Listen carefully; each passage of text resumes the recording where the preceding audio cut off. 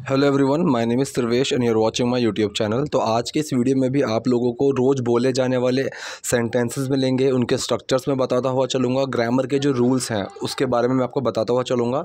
तो आपको हिंदी सुननी है माइंड में कोशिश करना है उसको ट्रांसलेट करने की वीडियो को पॉज भी कर सकते हैं। और आपको फिर मैच करना है कि आपका सेंटेंस कितना सही है और कितना गलत है। तो पहले सेंटेंस वीडियो को शुरू करते हैं। तो देखिए, पहला सेंटेंस है, वो जाग रही है। ठीक है? तो जाग रही है। तो जाग रहे को हम क्या बोलते हैं? वेकअप ठीक? ये सेंटेंस कौन सा है? ये है आपका प्रेजेंट कॉन्टीन्यूस सेंटेंस ठीक है? तो प्रेजेंट कॉन्टीन्यूस में क्या होता है? इज़ एम आर का यूज़ होता है और एक्शन की फ़र्स्ट फॉर्म के साथ आई एन जी आती है, ठीक है? सो यहाँ पे शी की बात चलिए शी के साथ आता है इज़ सिंगुलर के साथ आएगा is so she is waking up she is waking up क्योंकि यहाँ पे एक्शन है वेकअप तो एक्शन में आई एन जी आएगा waking up so she is waking up वो जाग रही है। क्या तुम मुझे सुन सकती हो? ठीक है? क्या तुम मुझे सुन सकती हो? तो ये सेंटेंस कौन सा बनेगा? ये सकता है, सकती है वाला कैन वाला सेंटेंस बनेगा। किसी की क्षमता, कोई चीज़ करने की ताकत, उस चीज़ के ऊपर है ये।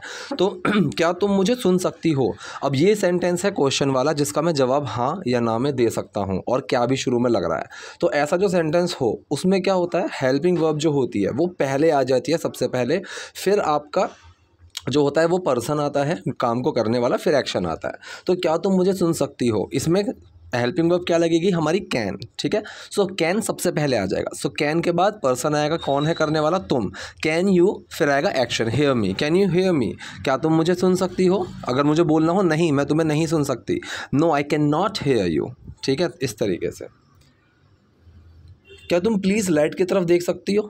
ठीक है? अब जैसे हम हिंदी में क्या बोलते हैं यार प्लीज़ लाइट की तरफ़ देखोगी? ठीक है? तो अगर मैंने हिंदी में इस तरीके से बोला कि अच्छा लाइट की तरफ़ देखोगी तो यहाँ पे ऐसा सेंटेंस में कंफ्यूज हम लोग हो जाते हैं कि ये तो गा है, गी है पे एंड हो रहा है तो विल का यूज़ होगा। कर सकते हो विल का यूज़ लेकिन will you please look into this ऐसे हम बोल सकते हैं, लेकिन जो सेंटेंस है, ये कैन वाला ही है। ठीक है? तो कैन यू प्लीज़ ठीक है? तो जैसे मैं बोलूँ, भाई साइड में हटेगा थोड़ा। ठीक है? तो वो जो सेंटेंस होते हैं, ये कैन वाले ही होते हैं। क्या तुम साइड में थोड़ा हट सकते हो? तो क्या तुम प्लीज़ लाइट की तरफ़ देख सकती हो? ये होगा हमारी फॉर्मेशन जिस फॉर्मेशन में हम तोड़ेंगे। तो क्या तुम प्लीज़ लाइट की तरफ़ देख सकती हो? तो कैन वाला ही बनेगा। कैन यू प्लीज़ अब ये सेंटेंस भी वही है, जिसका जवाब मैं हाँ या ना मैं दे सकता हूँ, और क्या शुरू में लग रहा है। तो सबसे पहले हेल्पिंग वर्ब आ जाएगी, और फिर पर्सन आएगा। Can you please look at the light ठीक है? अब लुक के साथ मैंने वही बताया अगर किसी चीज़ में देखने की बात चल रही है, तब तो look into look out इसका हम यूज़ कर सकते हैं। लेकिन अगर किसी भी किसी की तरफ़ देखने की बात चल रही हो ना सो लुक एट ही हम यूज़ करेंगे, ठीक है? तो क्या तुम प्लीज़ लाइट की तरफ़ देख सकती हो? Can you please look at the light can you please look at the light क्या तुम अपना नाम याद कर सकती हो? अब ये सेम वही सेंटेंस है, सकता है, सकती है वाला, और जिसका जवाब मैं हाँ या ना में दे सकता हूँ। मतलब कैन से शुरू होगा ये सेंटेंस जिसका जवाब मैं हाँ या ना में दे सकता हूँ।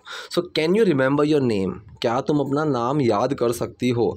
Can you remember your name remember की जगह आप रिकॉल भी लगा सकते हो, ठीक है? अभी कह रहे हम कहाँ हैं? हम कहाँ हैं? ठीक है? जैसे हम बोल रहे हैं, यार, ये हम कहाँ हैं? ठीक है? तो ये सेंटेंस कौन सा है? सिंपल प्रेजेंट वाला, जिसके अंदर इज़ एम आर का यूज़ होता है और कोई एक्शन नहीं होता। तो यहाँ पे हम कहाँ हैं? इसमें कोई एक्शन नहीं है। तो लेकिन प्रेजेंट की बात चल रही है तो सिंपल प्रेजेंट सेंटेंस हुआ इज़ एम आर का यूज़ होगा।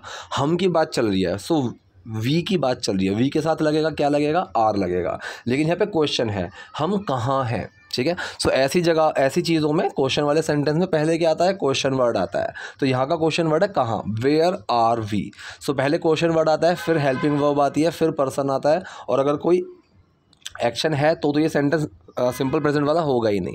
तो सिंपल प्रेजेंट में एक्शन नहीं होता। सो वेयर आर वी हम कहाँ हैं?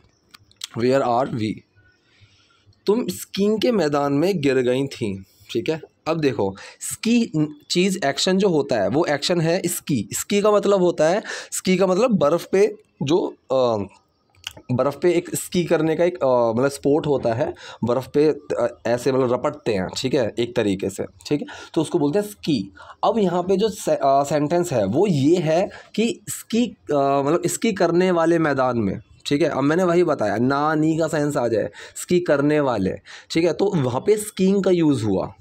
ठीक है? समझ रहे हो? कि पढ़ने वाली बुक तो रीडिंग इस तरीके से, ठीक है? पढ़ने वाला room that's my reading book इस रीडिंग रूम इस तरीके से। तो ये कह रहा तुम स्की के स्कीइंग के मैदान में गिर गई थी मतलब स्की करने वाले मैदान में, जहाँ पे लोग स्की करते हैं। सो यू तो ये सेंटेंस कौन सा है? ये सेंटेंस है आपका पास्ट इंडेफिनिट ठीक है? पास्ट इंडेफिनिट क्योंकि पास्ट में कोई चीज़ हुई, लेकिन इम्पैक्ट अभी नहीं है। तो ये गिरी थी, लेकिन अब तो उस मैदान में नहीं गिरी हुई है ना? ठीक है, अब तो बाहर आ गई है। सो पास्ट इंडेफिनिट का सेंटेंस है जिसमें डिड का यूज़ होता है। अगर सेंटेंस बिल्कुल सिंपल है तो डिड छुप जाएगा एक्शन में और सेकंड फॉर्म बन जाती है एक्शन की। तो यहाँ पे फॉल की फैल बन गई, ठीक है? सो यू फेल डाउन तुम गिर गई। यू फेल डाउन तुम गिर गई थी in the skiing ground ski करने वाले ग्राउंड में स्कीइंग के ग्राउंड में, ठीक है? स्कीइंग के मैदान में। So you fall you fell down in the ski ground तुम स्कीइंग के मैदान में गिर गई थी। अभी रहा क्या तुम्हें याद नहीं है? क्या तुम्हें याद नहीं है? अब ये सेंटेंस क्या क्या है? ठीक है? ये सेंटेंस है मतलब जहाँ, जब हम, जैसे वो वाला सेंटेंस मैं बताता हूँ ना, जहाँ पे हम किसी को कुछ करने के लिए बोलते हैं, नहीं करने के लिए बोलते हैं, ठीक है? तो और याद करो या, या फिर मैं कह रहा हूँ कि इस चीज़ के बारे में तुम्हें याद नहीं है क्या? ठीक है? तो डोंट ऐसे सेंटेंस में डू का यूज़ होता है ठीक है? जैसे कि मैं बोलूँ क्या तुम उसको बताते नहीं हो? तो ये जो प्रेजेंट इंडेफिनिट वाला सेंस देता है क्या तुम ये चीज़ नहीं करते हो? तो मतलब क्या तुम्हें याद नहीं है? ठीक है? क्या तुम इस चीज़ को याद नहीं रखती हो? वो वाला सेंस आता है यहाँ पे कि मतलब क्या तुम इस चीज़ को याद नहीं रखती हो? इस तरीके से। सो क्या तुम्हें याद नहीं है? डोंट यू रिमेंबर ठीक है डोंट यू रिमेंबर अगर मैं बोलूँ कि मुझे याद है सो आई रिमेंबर ठीक है? मतलब मैं याद रखता हूँ वो वाला। मुझे याद नहीं है। आई डू नॉट रिमेंबर ठीक है? तो लोग यहाँ पे एम का यूज़ कर देते हैं। आई एम नॉट रिमेंबर नहीं, ऐसा कुछ नहीं। यहाँ पे रिमेंबर एक एक्शन की तरह ही आ रहा है। So I do not remember मुझे याद नहीं है। आई रिमेंबर मुझे याद है। ठीक है? इस तरीके से। तो क्या तुम्हें याद नहीं है? तो ये सेंटेंस है क्या वाला, जिसमें मतलब हाँ या ना में जवाब दे सकता हूँ मैं। तो डू पहले आ जाएगा। अब आप इसको चाहो तो डू यू नॉट रिमेंबर बोल दो, या फिर डोंट यू रिमेंबर बोल दो। दोनों बिल्कुल ठीक है। तो मैंने क्या बनाया? डोंट यू रिमेंबर क्या तुम्हें याद नहीं है? क्या हम एक दूसरे को जानते हैं? ठीक है? अब ये तो सिंपल सा आपका प्रेजेंट इंडेफिनिट सेंटेंस ही है। ठीक है? जिसमें ता है भी आ रहा है तो वो वाला सेंटेंस है कि एक प्रेजेंट में कोई चीज़ इंडेफिनिट है। ठीक है? तो क्या हम एक दूसरे को जानते हैं? तो ये सेंटेंस भी क्या से शुरू हो रहा है? हाँ या ना मैं जवाब दे सकता हूँ तो हेल्पिंग वर्ब पहले आएगी। यहाँ पे आ, करने वाला कौन है? हम। मतलब किसके बारे में बात चलिए हमारे। तो ये क्या है? प्लूरल है। प्लूरल के साथ क्या लगता है? डू तो डू सबसे पहले आएगा। सो डू वी नो क्या हम जानते हैं? एक दूसरे को ईच अदर ठीक है? एक दूसरे के लिए यहाँ पे ईच अदर का यूज़ करते हैं, ठीक है? We don't like each other हम एक दूसरे को पसंद नहीं करते हैं, इस तरीके से। तो यहाँ पे ये यह पूछ रहे हैं, क्या हम एक दूसरे को जानते हैं? So do we know each other अब ये कह रहा है, मुझे उसके मस्तिष्क क्षेत्र में कोई समस्या नहीं दिख रही है, ठीक है? ठीक है?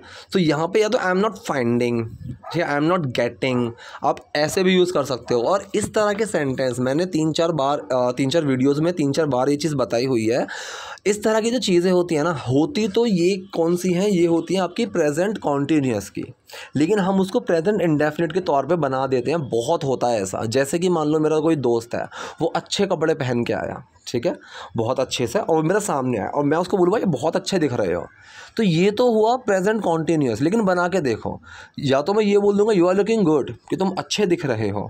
या फिर मैं यहाँ पे सिंपल सा बोल देता हूँ, भाई you look good in this dress यार। इस ड्रेस में तुम अच्छे दिख रहे हो। तो मैंने यहाँ पे प्रेजेंट इंडेफिनिट सेंटेंस ही लगाया। ठीक है?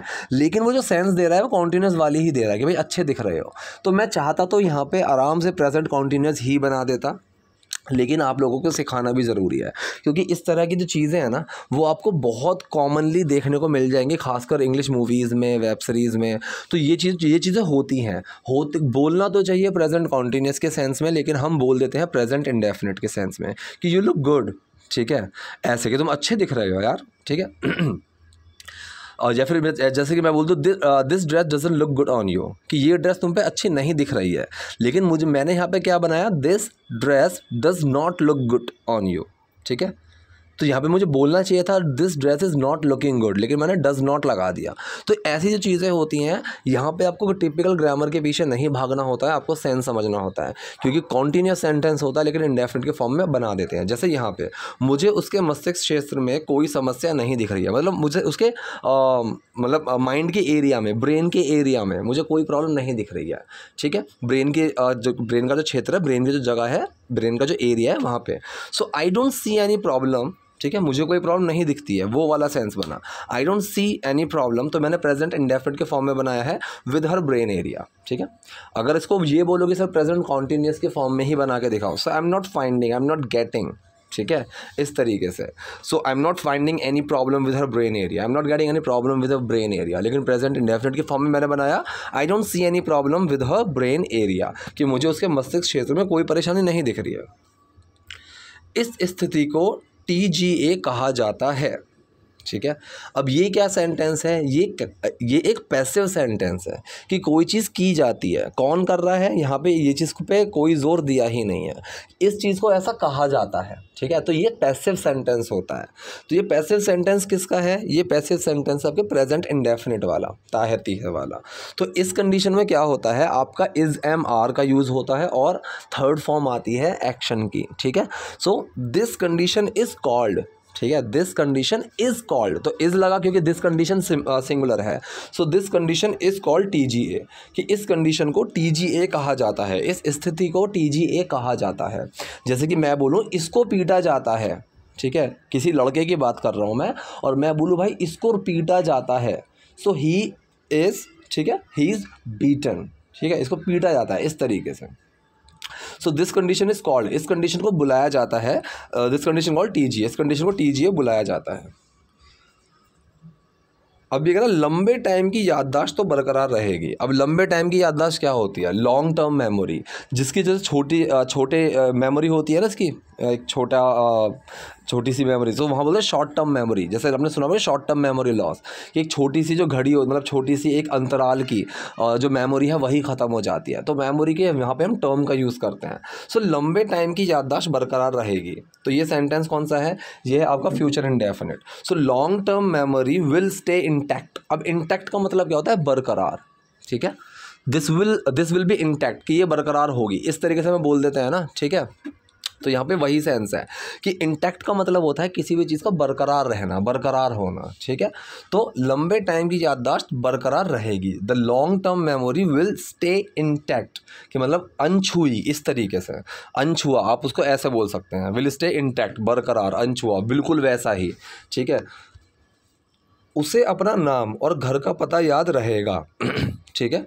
तो ये भी सेंटेंस मैंने फ्यूचर इंडेफिनिट के सेंस में बनाया है, ठीक है? सो शी विल रिमेंबर उसको याद रहेगा she will remember her name and home address ठीक है?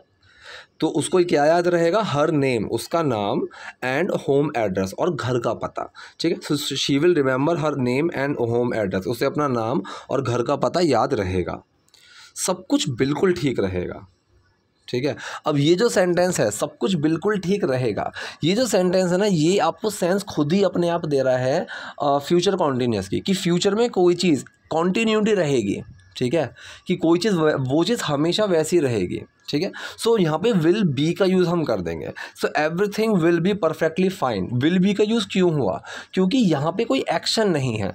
अब मैंने वही चीज़ बताया है अगर प्रेजेंट का सेंटेंस है जिसमें कोई एक्शन ना हो चाहे कोई एक्शन ना हो तो वहाँ पे प्रेजेंट कॉन्टीन्यूस की हेल्पिंग वर्ब लगती है इज़ एम आर अगर पास्ट का सेंटेंस है सिंपल पास्ट का, जिसके अंदर कोई एक्शन नहीं है सो वहाँ पे पास्ट कॉन्टीन्यूस की हेल्पिंग वर्ब लगती हैं, जो कि क्या होती है वॉज़ वर्ब सेम अगर फ्यूचर का सेंटेंस है, जिसके अंदर कोई एक्शन नहीं है सिंपल फ्यूचर का सेंटेंस है सो वहाँ पे हेल्पिंग वर्ब जो यूज़ होती है, वो फ्यूचर कॉन्टीन्यूस की होती है, जो कि विल बी होती है. तो यहाँ पर सब कुछ बिल्कुल ठीक रहेगा. ठीक है? तो इसमें कोई एक्शन ही नहीं है। यहाँ पे मैं सिर्फ़ एक कंडीशन बता रहा हूँ, एक सिचुएशन बता रहा हूँ। तो विल बी का यहाँ पे इसलिए यूज़ होगा। अगर आपको फ्यूचर कॉन्टीन्यूस वाले सेंस में समझ में ना आए तो आप इसको इस सेंस से समझो। ठीक है? So everything will be perfectly fine हर चीज़ बिल्कुल ठीक रहेगी। दिक्कत ये है कि उस उसकी हाल की याददाश्त गायब हो जाएगी। अब हाल की का मतलब क्या होता है? मतलब फ़िलहाल की, ठीक है? अब फ़िलहाल की चीज़ होती है रीसेंट ठीक है? रीसेंट अब रीसेंट चीज़ें क्या होती हैं? जो हाल ही में हुई हैं, ठीक है? रीसेंट न्यूज़ जैसे हम बोलते हैं ना कि हाल की ही खबर। है तो हाल जो मतलब अभी अभी बिल्कुल फ़िलहाल की नई नई ताज़ा ताज़ा तो वो रीसेंट चीज़ें होती हैं, ठीक है? सो दिक्कत ये है, अब ये जो सेंटेंस है, इतना सा। दिक्कत ये है अब ये सेंटेंस अपने अंदर सिंपल प्रेजेंट सेंटेंस लेकर चलता है simple present so the problem is the problem is that problem ये है कि, ठीक है? सो इज़ लगेगा क्योंकि प्रॉब्लम सिंगुलर है. द प्रॉब्लम इज़ दैट समस्या ये है कि, उसकी हाल की याददाश्त गायब हो जाएगी. ठीक है? अब ये सेंटेंस कौन सा है? यह है फ्यूचर डेफिनेट क्योंकि यहाँ पे एक्शन भी है गायब होना यहाँ पे एक्शन भी है ठीक है? सो so, Uh, पहला सेंटेंस क्या बना? फ्यूचर सॉरी प्रेजेंट सिंपल वाला सिंपल प्रेजेंट सेंटेंस बना पहला। द प्रॉब्लम इज़ दैट समस्या दिक्कत ये है कि उसकी हाल की याददाश्त गायब हो जाएगी। Her recent memory will disappear so future indefinite के सेंटेंस में क्या लगेगा? Will so her recent memory उसकी फ़िलहाल की याददाश्त ठीक है? या फिर उसकी नई नई याददाश्त जो हाल फ़िलहाल की चीज़ें हुई हैं वो वाली याददाश्त। Her recent memory will disappear वो गायब हो जाएगी ठीक है? तो विल लगेगा यहाँ पे जो आपकी हेल्पिंग वर्ब है उसके बाद एक्शन आ जाएगा। वो खेलेगा ही विल तो विल के साथ एक्शन ही विल प्ले सेम यहाँ पे उसकी याददाश्त गायब हो जाएगी। Her recent memory will disappear disappear का मतलब होता है गायब हो जाना और अपियर का मतलब क्या होता है? प्रकट हो जाना। सो so, अपियर और डिसअपियर इस तरह से चलते हैं। अपियर मतलब प्रकट होना। डिसअपियर मतलब गायब हो जाना। उसे हाल की घटनाओं की कोई याद नहीं रहेगी। ठीक है? हाल की घटनाएँ मतलब क्या हुआ? रीसेंट इवेंट्स आप चाहो तो थिंग्स भी लगा सकते हो रीसेंट थिंग्स चाहो तो मेमोरीज भी लगा सकते हो रीसेंट मेमोरीज आपकी कॉल है, मैंने यहाँ पे इवेंट्स लगा दिया। मतलब जो घटनाएँ होती हैं, जो घटित होती हैं, ठीक है? इंसिडेंट्स आप लगा सकते हो, वो भी बिल्कुल ठीक है। So she will she will have no memory ठीक है? मतलब ये कोई चीज़ याद रखने वाली की बात कर रहे हैं, ठीक है? तो फ्यूचर इंडेफिनिट सेंटेंस ही है। She will have no memory उसको कुछ, उसके पास कुछ नहीं होगा। ठीक है? क्या नहीं होगा? She will have no memory उसके पास कोई याद नहीं होगी ऑफ़ रीसेंट इवेंट्स ठीक है? हाल की घटनाओं की, ठीक? तो पूरा सेंटेंस क्या बना? उसे हाल की घटनाओं की कोई याद नहीं रहेगी, कोई याद नहीं होगी, वो वाला सेंस है। So she will have no memory of recent events हमें इसमें शामिल है कि वो फिनलैंड में क्यों है? अब ये जो सेंटेंस है ना ये जो स्ट्रक्चर है आप ध्यान से समझने की कोशिश करो तो आपको समझ में आएगा। इसमें शामिल है ये शामिल रखता है ठीक है? तो ये जो सेंस होता है ना यहाँ पे हम यूज़ करते हैं इंक्लूडिंग ठीक है? जैसे कि मैं बोलूँ कि आ, आ, तुम दोनों बहुत शरारती हो। दो लड़के हैं मैंने उनको बोला you both are very naughty ये ठीक है? इस तरीके से मैंने बोला। और फिर मैंने तीसरे को बोला इंक्लूडिंग यू मतलब इसमें तुम भी शामिल हो। मैंने इस तरीके से बोला मतलब तुम्हें मिलाते हुए, तुम्हें इस चीज़ में मिलाते हुए, तुम भी इस चीज़ में शामिल हो, तुम भी इस चीज़ में हो।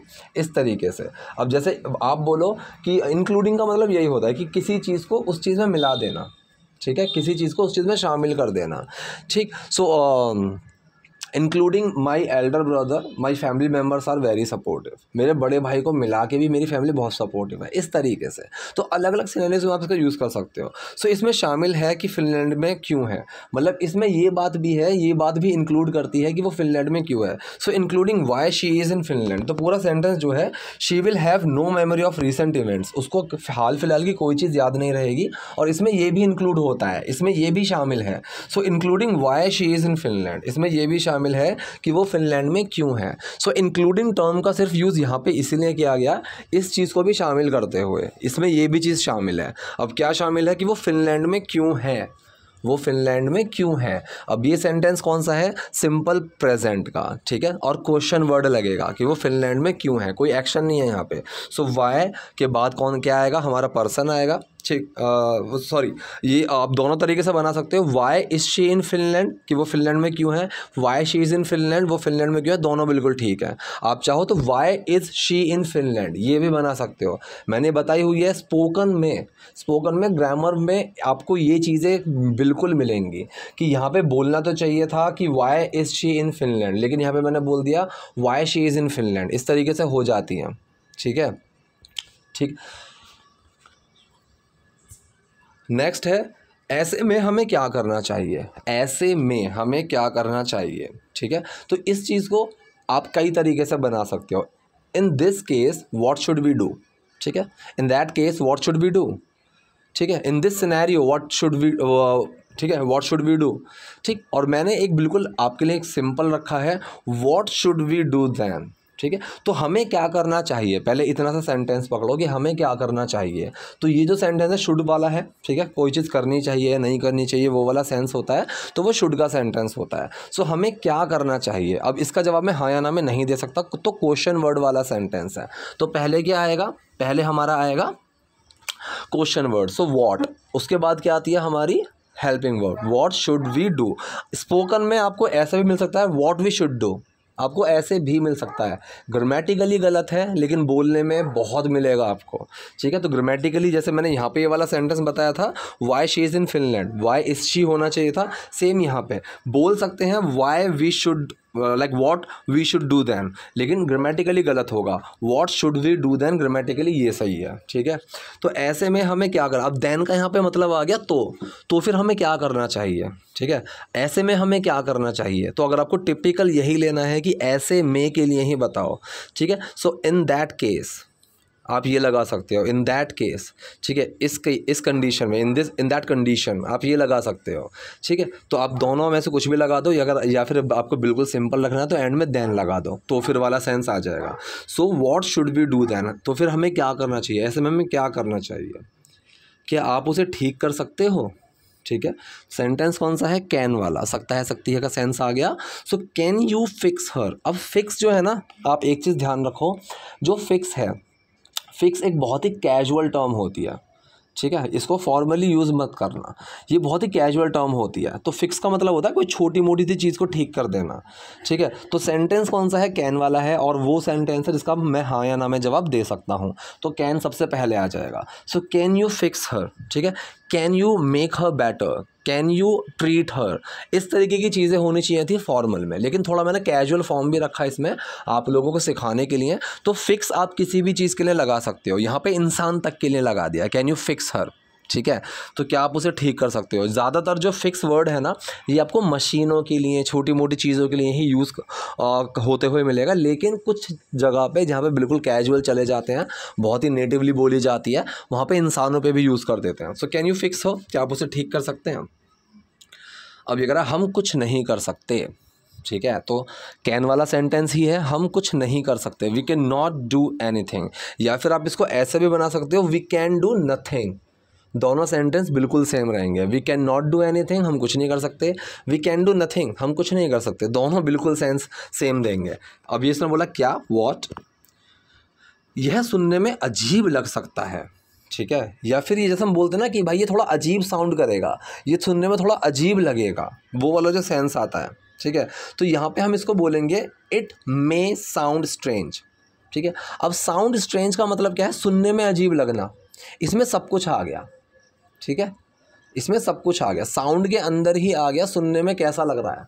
ठीक है? इट साउंड्स गुड जैसे हम ये बोलते हैं ना भाई साउंड्स गुड तो आपने सिर्फ़ इतना सा बोला साउंड्स गुड ये है आपका present indefinite so it sounds good में साउंड के अंदर डस्ट छुप गया कि भाई सुनने में तो अच्छा लग रहा है।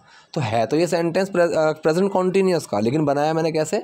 प्रेजेंट इंडेफिनिट की फॉर्म इट साउंड्स गुड सुनने में अच्छा लगा. सुनने में अच्छा लगता है. सुनने में अच्छा लग रहा है. ठीक है? Tell me more about this इस तरीके से. सो so, साउंड अपने आप में एक बात लेकर चलता है कि सुनने में वो चीज़ कैसी लग रही है। ठीक है? तो इट मे मे का मतलब क्या है? फिफ्टी फिफ्टी चांस है। कैन भी लगा सकते हो? अगर आप बहुत ज़्यादा श्योर हो तो विल भी लगा सकते हो। इट विल साउंड स्ट्रेंज ये अजीब लगेगा सुनने में, ठीक है?